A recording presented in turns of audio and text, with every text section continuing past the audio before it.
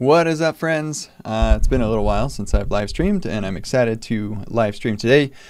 We're going to be working on the advanced remix workshop that I'm giving with Ryan um, in about two weeks, less than two weeks now. Um, and so uh, Ryan and I have talked about all the things that we want to teach. Um, and so it's going to uh, just a matter of uh, creating the material, which um, sometimes it's the hardest part. so hopefully we can get this done soon, uh, or soon enough. Um, and so yeah, the um, uh, yeah, I guess I'll just mention that I ignore the chat on YouTube because uh, that just never ends up working out well. I'm not streaming uh, to like interact with community. I'm actually trying to get work done, and I'm just happen to be streaming while I'm doing that. Um, and so if I were streaming, it's like, hey, let, you know, that's what I do on Fridays. That's my office hours thing. So if you want to like interact with me and ask me questions and stuff like that, that's for office hours. You can go uh, just Google Kent C. Dodds office hours to learn about that. Um, and uh, yeah, if um, oh shoot, it just occurred to me that I uh, created the the link that's in the description of this video will send you to the wrong uh, channel, Discord channel. So I'm going to create a new one. Um, just give me a second and um, I will update that. Um, there we go. And there it is. Oh. Huh, that's interesting. Yeah, that makes sense. Okay, cool. So now just give it like two seconds and then the uh, link in the description will work, uh, send you to the right place. Um, but yeah, if you do, like, if you notice me doing something wrong or whatever, you can totally chat in uh, the channel on Discord. It's called KCD Meetup. Um, and you know, one other thing that I'm going to do is go to this live stream and uh, copy this link I know you can't see what I'm doing. Uh, I'll, I'll share my screen in a bit. Just going to put that in the meetup chat thing too. So sweet, you're more than welcome to, to chat away um, on the in the live chat. Uh, just know that I will not uh, look at that at all. Um, so uh, good. I think I'm ready to share my screen now. And I've got my um, uh, centered app is running um, well done. And so that's Noah. That's uh, you'll find a link to the in the description for centered as well. Um, actually, you know what? I've, I've got a. Uh, I should update that link because if you go to my uses page um, and look for centered, um, oh, I guess I don't have a link for it. But if you use the um, Epic Flow, you'll get 50% off your first year of premium, which is cool. Um, maybe I should put that in the description too.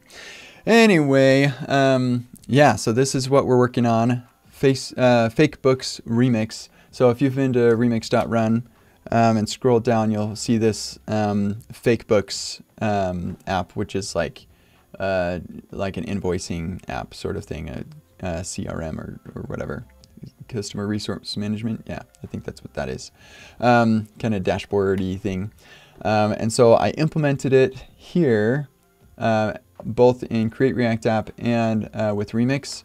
Uh, the reason I did that was I was going to do a side-by-side -side comparison of like loading times and stuff like that. Um, and I actually had like a blog post written out um, for it, but um, there were just a lot of things where it's like, well, we're not doing mutations yet, so there's a lot of code that you're not loading because we're not doing mutations and stuff like that. So it wasn't really a great comparison. Um, and so I, I didn't end up posting that blog post. Maybe eventually I'll, I'll make it once we make both of these apps like more fully formed. Um, but um, yeah, we have the, the basic piece all implemented and stuff and that, that's pretty cool. Um, so the objective here is we're going to implement a bunch of the features of this app um, and then use this app to, um, uh, to teach advanced remix con concepts. So if I go to, um, let's see, uh, yeah, fakebooks remix, then this is uh, the app. We'll get this running locally.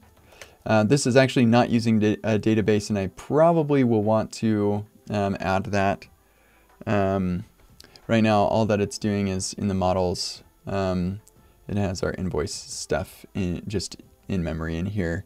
Um, and I think, you know what? I'm going to add a task for me in Centered right now to implement like the full model and everything. So implement um, database and models. And oh, and by the way, I um, you can flow with me if you want to. If you want to get working, um, I am in centered right now, and it's in the the remix group. Um, I tweeted about it recently. Uh, okay, so this implementing the data stuff probably take an hour. So that's what we're going to be working on. Um, okay, cool. Let's run the dev server, close this, don't need that or that. Localhost, sales page, invoices. Here we are. Okay, so we just need to get all this in the database. Um, and what I've got, uh, based on what we've we've got here, we're going to need uh, customers. Um, yeah, there's there's a ton of stuff in here. Uh, we're not going to implement all of it, I think. Um, yeah, so we're going to need a customers model, uh, deposits. I don't even know what that is supposed to be. Um, customers, invoices, subscriptions we'll probably need. uh, yeah. Yeah, okay. So we'll we'll just do customers and invoices right now, and then we can add more models later. That's what migrations are for. So, uh, and the fun thing is that I did not bootstrap with uh, this with the um, um, um, with the, the indie stack. I just started it from scratch. I think maybe I did the indie stack. Yeah, I think I did. Um, and then I just ripped out a bunch of stuff that I didn't uh, want um, because I wasn't going to make it real. Um, interestingly, I do have some API routes, and this is actually what the Create React version of the app uses for its backend, which uh, is kind of interesting. Uh, okay, so anyway, we're going to, um, uh, what's the easiest way to do this? Uh, probably easiest way is to, um, let's go to the this one wheel block thing, and we'll just copy, um, copy Prisma folder, stick it right there.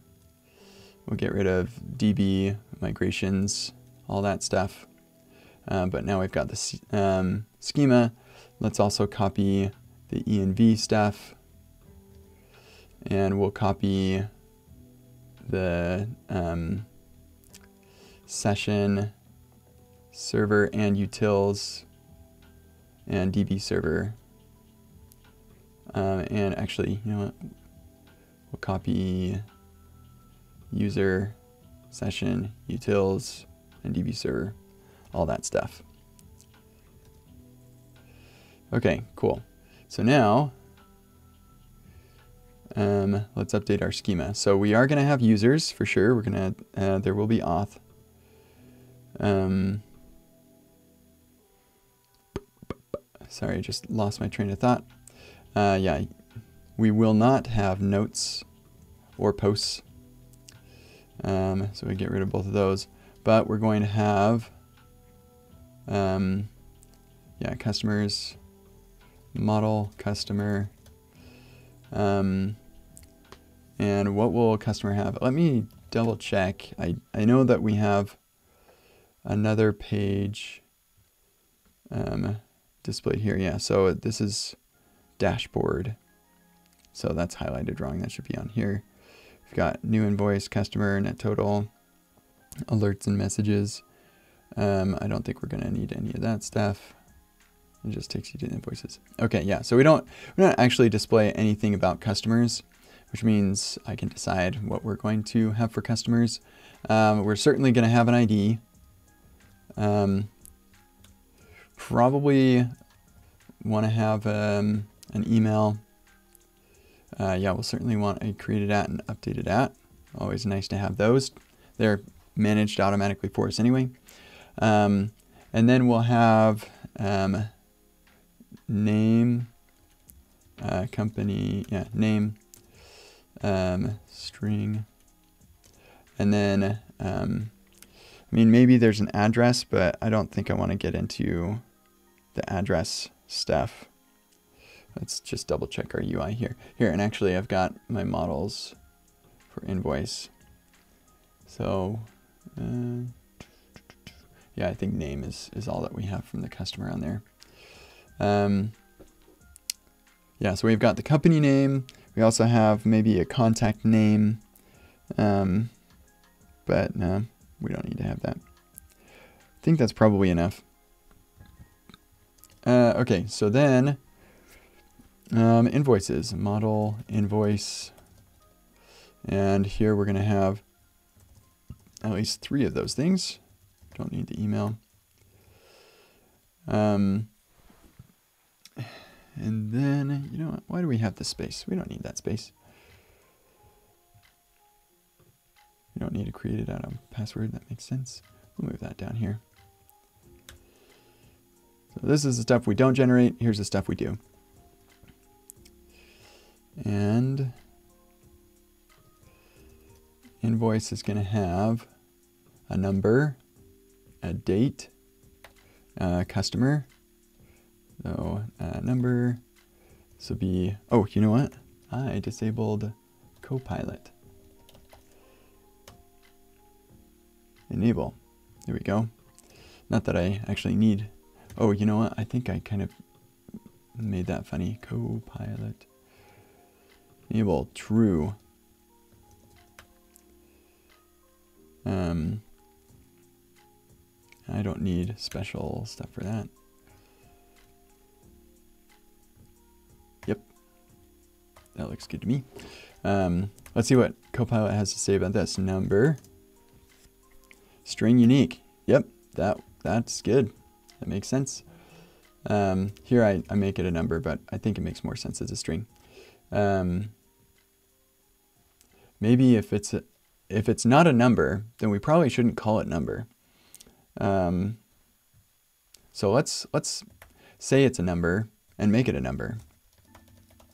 And is there like, um, let's see, Prisma auto incrementing value. I think there's a way to do this.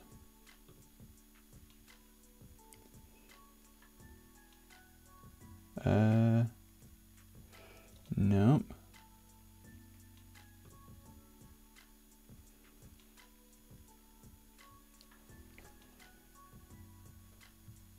Yeah, I seem to remember that uh, I once used this feature. Um? That is totally not what that was. Oh, I totally forgot. I have a meeting with somebody right now. Um, so I'm going to uh, jump off and I'll come back on after my meeting with this person. And uh, yeah, so we'll see you in like an hour maybe. Sorry that was abrupt, but yeah, see you soon.